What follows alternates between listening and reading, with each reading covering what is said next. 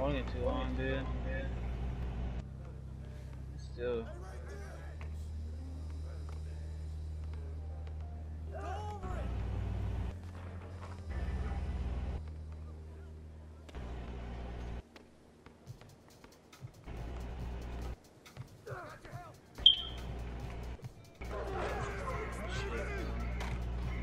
Probably was gonna snatch